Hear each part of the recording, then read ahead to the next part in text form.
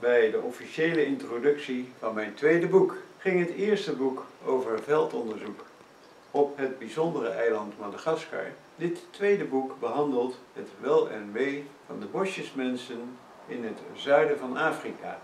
Waarom ik spreek over bosjesmensen en niet over bosjesmannen, hoe het hen is vergaan en waarom het voor de hedendaagse mens zo belangrijk is om hun natuurlijke gedrag te begrijpen, leest u in mijn nieuwe boek Waar zijn de bosjesmensen gebleven? Bericht uit Namibië. Waar zijn de bosjesmensen gebleven? Bericht uit Namibië. Dat het succes zal hebben, dat het gelezen zal worden. Niet alleen door de geïnteresseerde burger, maar vooral ook door mensen die invloed hebben op de relatie tussen enerzijds concurrentie en anderzijds het betere, het Hansestadmodel, sound of hacking.